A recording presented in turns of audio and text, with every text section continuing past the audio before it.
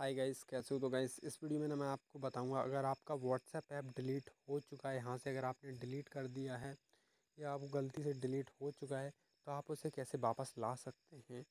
तो अगर आप जानना चाहते हैं, अगर आपका व्हाट्सएप जो ऐप है वो डिलीट हो चुका है तो अगर आपका जी बी व्हाट्सएप डिलीट हो चुका है तो वो भी मैं आपको बताऊँगा कैसे आप उसे वापस ला सकते हैं अपने फ़ोन में। तो बहुत सारे लोगों को प्रॉब्लम आ रही थी तो उनका जो व्हाट्सएप ऐप है वो डिलीट हो चुका था। तो उन्हें वापस करने में प्रॉब्लम आ रही थी। तो आज की इस वीडियो में मैं आपको यही बताने वाला हूँ तो इसके लिए आपको क्या करना होगा आपको हमारे वीडियो के डिस्क्रिप्शन में जाना होगा वहाँ पे एक आपको लिंक देखने को मिलेगी।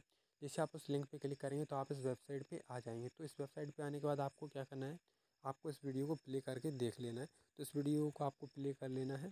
तो हाँ, देख सकते हैं यहाँ पे इस वीडियो में सारी चीज़ बताई गई हुई हैं और आप यहाँ से इस वीडियो को बड़ा भी कर सकते हैं। उसके बाद आप इसे देख सकते हैं आसानी से। तो इस वीडियो में सारी चीज़ बताई गई हैं। कि अगर आपका जो व्हाट्सअप है, वो ऐप जो है, वो डिलीट हो चुका है तो आप उसे कैसे वापस ला सकते हैं? तो इस वेबसाइट की लिंक मैंने आपको बता दिया है, मेरी वीडियो के डिस्क्रिप्शन में। आप, मेरी वीडियो के डिस्क्रिप्शन में जैसे ही आप जाएँगे तो वहाँ पे आपको एक वेबसाइट की लिंक देखने को मिलेगी फ़र्स्ट नंबर पे ही। तो आप जैसे ही आप उस लिंक पे क्लिक करेंगे तो आप इस वेबसाइट पे, सीधे आप इस वेबसाइट पे आ जाएँगे।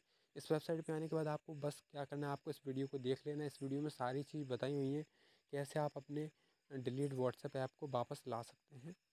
तो इसके बाद आपका जो व्हाट्सएप डिलीट व्हाट्सएप ऐप है, वो वापस आ जाएगा। तो आई होप आपको ये वीडियो पसंद आया होगा। अगर आपको ये वीडियो पसंद आया तो इस वीडियो को लाइक कीजिए शेयर कीजिए और अगर आप हमारे चैनल पे पहली बार आए हुए हैं तो इस चैनल को ज़रूर सब्सक्राइब कर दीजिए। अगर आपको फिर भी अगर इसके बाद भी अगर कोई प्रॉब्लम आती है तो आप हमें नीचे जाके आप यहाँ से आपको नीचे जाना है और यहाँ यहाँ से आप कॉन्टैक्ट फॉर्म पे कॉन्टैक्ट भी कर सकते हैं। वरना आप यूट्यूब के कमेंट में आप हमें कमेंट कर सकते हैं। मैं आपका रिप्लाई ज़रूर दूँगा।